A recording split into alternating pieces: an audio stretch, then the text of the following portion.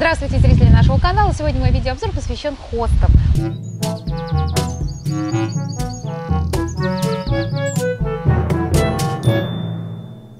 Хосты – это королева тени. Где бы вы ее ни посадили, будь то тень, будь то солнце, да-да, солнце, вы не ошиблись, можно хосты. На сегодняшний день выведены сорта хост, которые могут расти небольшим количеством солнца. То есть, если вы посадите хост на протяжении всего дня, конечно, она будет страдать.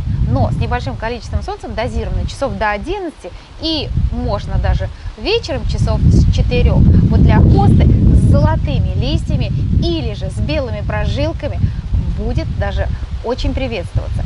На сегодняшний день выведены сорта хост, которые э, отличаются не только по высоте, по размеру листа, по структуре листа. Есть хосты закрученные, за, за, завернутые, то есть очень красивые. Есть мелколистные, есть очень плотные.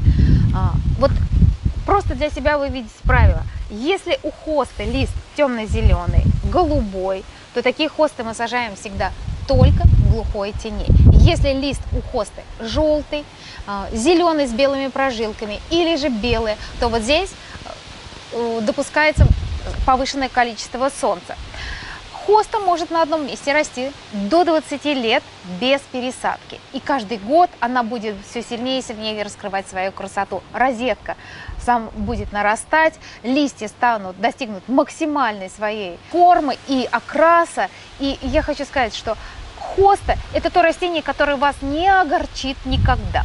Даже если вы забудете ее подкормить, даже если вы забудете ее полить, она не повянет и будет продолжать расти и радовать вас необыкновенно красивой листвой. Все хосты на сегодняшний день э, цветут.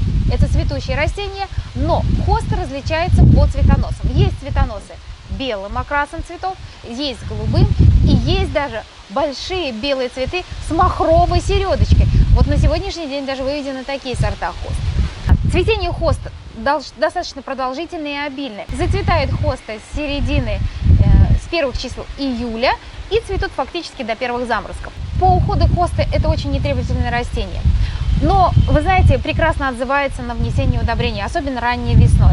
Будь то органический, будь то минеральное удобрение, э, на все хосты реагирует просто прекрасно. Особенно если вы еще в течение вегетации еще раз ей преподнесете такой сюрприз и дадите удобрение, поверьте, она отблагодарит вас прекрасным и цветением, и, конечно, красотой своих листьев.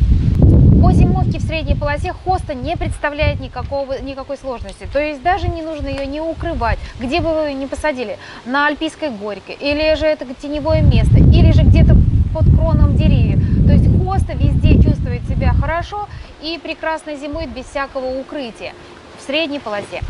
Далее, а, очень часто спрашиваю вопрос, нужно ли хосту обрезать осенью. То есть, когда наступили первые заморозки, хоста, листочки опадают, и э, нужно ли обрезать. Вот здесь мнения точно, раз, э, мнения разошлись. Основная масса садоводов-огородников считают, что обязательно нужно обрезать листья. А другая, другая часть э, садоводов утверждает, что вот хоста, когда листва поникает, она сама собой прикрывает вот эту корневую систему. То есть вот эти повявшие листочки, поникшие, они прикрывают наземную часть. Тем самым, значит, способствует тому, что делает легкое укрытие.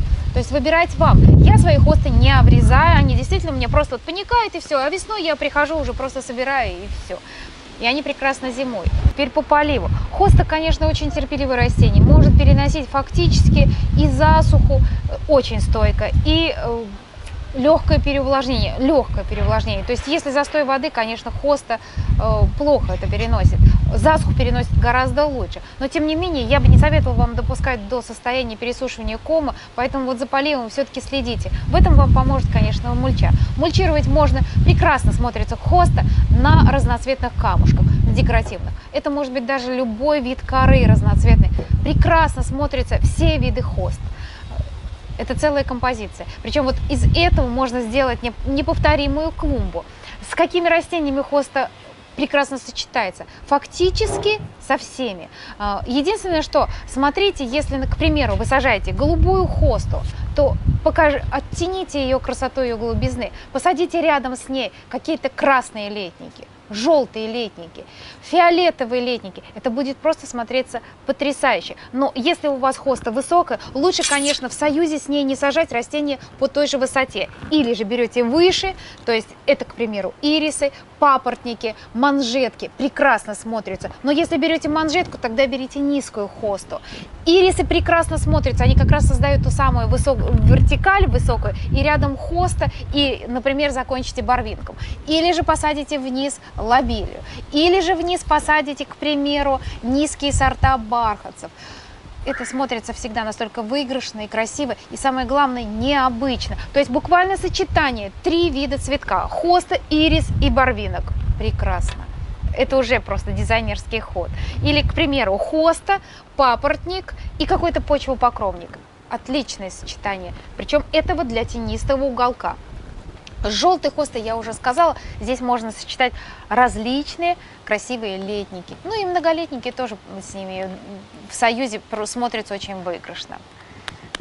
Так, по вредителям. А, очень любят хосты поедать слизни. Это, наверное, самые такие распространенные враги. А, корневые гнили встречаются крайне-крайне часто, то есть это если только очень сильное переувлажнение. В основном слизни могут повреждать вот тонкие, особенно у хост, которые низкорослые и с тоненькими листочками. То есть если это как вот мышиные ушки хоста, у них такие плотные листики, конечно, здесь э, э, слизням трудновато. А вот хосты с тонкими листочками для них лакомство. Вот здесь, конечно, вам стоит обратить внимание. Если вы увидели листочки дырявые, значит все. Значит, слизни точно пировали сегодня всю ночь.